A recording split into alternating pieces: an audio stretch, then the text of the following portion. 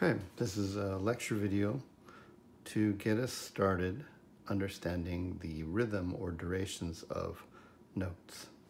So you should refer to this worksheet. It's the first goldenrod uh, one in your packet. It's not actually a worksheet, it's a reference page. And basically it says, to begin with, music is organized into groups of steady beats. And they have a symbol at the beginning of the first line that will tell you if you've got them grouped together in two like a march, one, two, one, two, left, right, left, right. Or in three, like a waltz, one, two, three, one, two, three. Or four, four, four beats per measure, which is very common for lots and lots of different kind of music, be it pop, classical, doesn't matter. One, two, three, four, one, two, three, four. The bottom number tells us that a quarter note, which looks like that gets a beat. Okay, so it, even though it's not a fraction, it kind of works like a fraction and says there's two beats per measure or in between the bar lines, and the quarter note gets the beat. That would be one beat right there. Three beats, quarter note gets the beat. Four beats, quarter note gets the beats. we get into more complicated time signatures and meters in the second half of the term, uh, that can change, but for right now, that's a good hard fast rule. This is called a quarter note. It has a filled in note and a stem. The stem is usually about three, three and a half um, lines on your staff, not more than that, not much less than that either. Otherwise it looks stubby or overly long.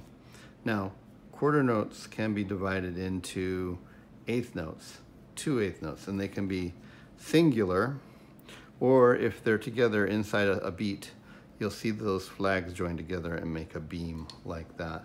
These are made proportionally, so you can see that the eighth note is worth half the time duration of a quarter note. So this is worth a whole of a beat, single beat.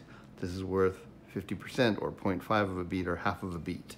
And if we put two of them together, they make a beat. And if you have them together in a beat, they're often joined with a bar across the top. We call that a beam instead of having separate little flags like that okay? And then when we count things, if it's on a beat, like one, right? And then hmm, two, and then three, then we count that one and two and three, okay? And then if we had notes that went in between those, let's make four of these like your example. So one, two, three, four go for a whole beat. Then the in-between is one and two. So you can see that they both line up ones, twos, but these guys are between and, one and, two and. You're familiar with this already because you've seen Lavender's Blue, right? Which has a rest at the beginning that's what a rest looks like. It's just same duration, it's just silence. So it'd go one, two, three, four, rest. Lavenders, like that, okay? And then we can introduce a new note here. Half note looks like a quarter note, except the middle part is of the, the note is not filled in. It's twice as much value or duration as a quarter note. So this is a beat, and those are two beats, right?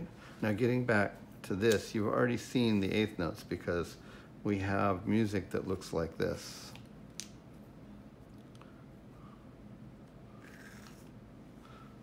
One, two, three, four, one, two, three, and four, and, right? The beats keep going along. Bum, bum, bum, Bum, bum, bum, bum, bum. One, two, three, and four, and, and so on. Today, if we can get that far as a concept, that's great. Now what we want you to do is be able to recognize the notes from each other and how much they're worth when we have something above a four. So, quarter note, filled in, head and a stem, quarter note, one beat, eighth note is half a beat, and you can have them separate or they could be paired together. A half note, which is not filled in, but otherwise looks similar to a quarter note, is worth two beats. And if you get rid of the stem and make it a little bit squishier altogether, that's what we call a whole note. So, eighth note, filled in, stem, flag, or beams when they're together, half of a beat. Quarter note, a full beat. Half note, that gets two beats. Whole note, it gets four beats. Okay? All right, we're gonna do one last thing and we'll call it good for now and then you can go take the micro quiz. Sometimes notes have dots on them. Dots are a quick and efficient way of adding 50% of the note's value to the note. So this is worth one beat. With a dot, it's worth one and a half beats. It's worth as much as a quarter note and an eighth note put together, right? Three eighth notes worth. And then that's so half a beat, one beat, one and a half beats, two beats. If we put a dot on that one, it adds 50% of what that is. And this is two beats, so this will be three beats. In other words, it's worth three quarter notes. Let's see if I can show you how that looks. Like that right there. Okay? And then whole note is worth four beats. Guess you could put a dot on that or on any note and add 50%, but these are the ones we commonly use.